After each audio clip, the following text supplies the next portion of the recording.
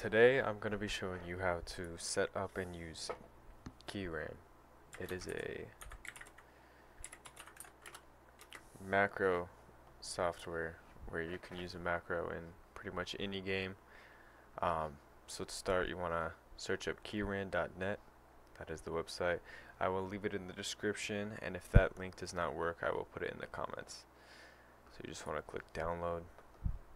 You're going to wait for the exe to download open the file, run it, and then this is going to take a little bit of a second. You're going to click install. It'll take a little bit of a second to install. Then you want to press launch. Don't close out of Google or whatever browser you were using yet because you're going to need it for a second.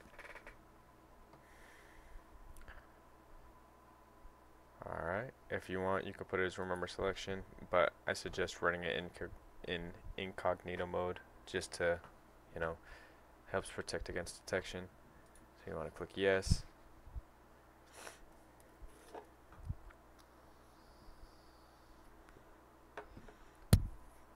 Alright, now while we wait for that to open, you'll see the keyboard will come up. You have different profiles you can use. Um, I have used it before, so I have everything set to profile 1 but for now for this test I'm going to show you guys on profile 4 you can go ahead and set that to the side for now and if you want come up to the top. Over here where it says macros you got plenty of different games. You'll be able to use the search bar right here to find any type of game that you want but for this tutorial I'm going to be showing you guys from Apex Legends. So for now we're going to find one. I'm going to use I'm going to use jitter flatline and you just want to pick that and click download. It'll open up your file. You will come here to this. You'll come up and click editor up here. It'll open up this page.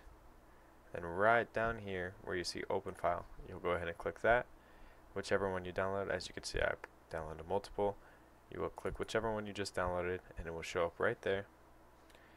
If you open it up this one is in this language, but usually if it's for aiming or an FPS shooter, you want to come over here and bind it to your left mouse button. So you'll click, you can bind it to pretty much anything, but if you want, you'll bind it to your left mouse button. You'll click macro, find added, and then you'll find it right in this section. For now I'm going to put it there. And then when you want to activate the script, you will click right here for now, I'm going to open up Apex.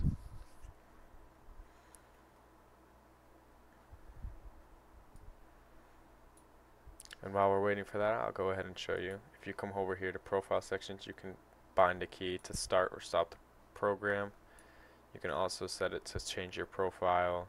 Um, you can set different things. I you need to download the driver. Um, well, technically, you don't need to but it is very highly suggested just because it helps out and it'll I mean it'll work way better with it. Um, you can use a VPN or proxy. Again here's some of the general you know settings. Um, go ahead and close out of that